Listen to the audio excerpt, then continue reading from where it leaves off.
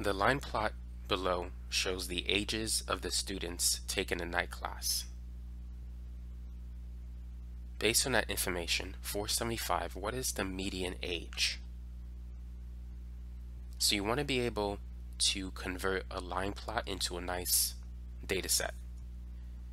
So at 18, we only have one dot.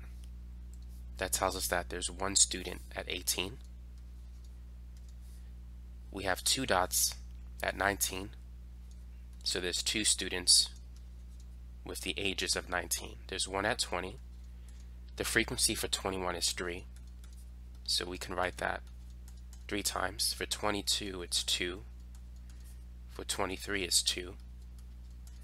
We only got 124, two 25s, and 126.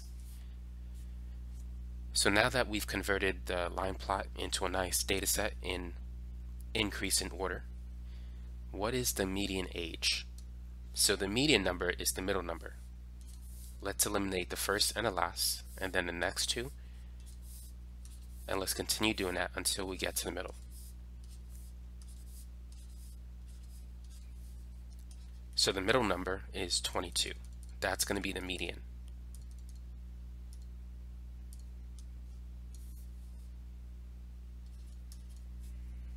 476, what is the mode of this data? The mode is basically the number with the highest frequency, and that's 21. As you can see, that number occurs three times. What is the mean? 477. To find the mean, we need to take the sum and divide it by the number of numbers that we have. So in your calculator, let's add 18 and then 19 two times 20 and then 21 three times and then 22 two times and then 23 two times and then 24 25 25 and 26 so the sum that I have is 329 now we need to divide it by n. That's the number of dots in the data set.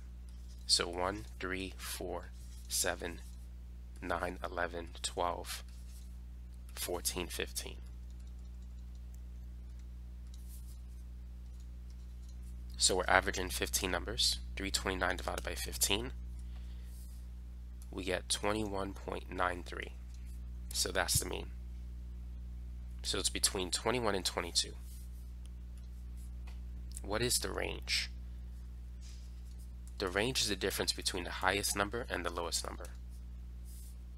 The highest number is 26, the lowest number is 18.